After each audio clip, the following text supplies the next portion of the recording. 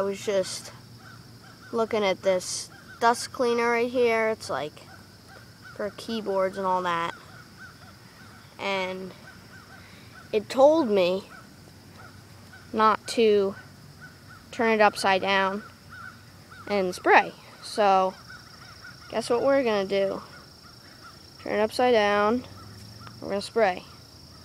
So, switch hands here. And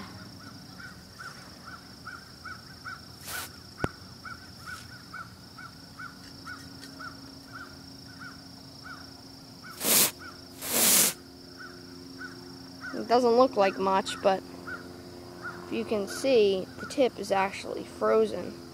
And so is back there. So, I think it's spraying some sort of liquid nitrogen or something like that. So, should I spray in the grass?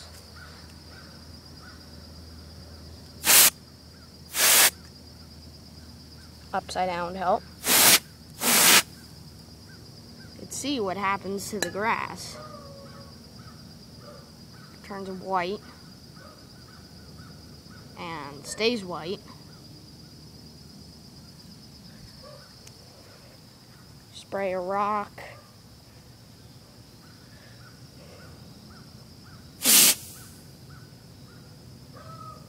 That went away more quickly, but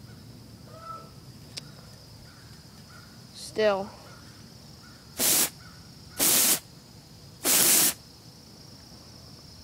So, that's what happens when you turn dust cleaner upside down. Hope you enjoyed the video. Bye-bye.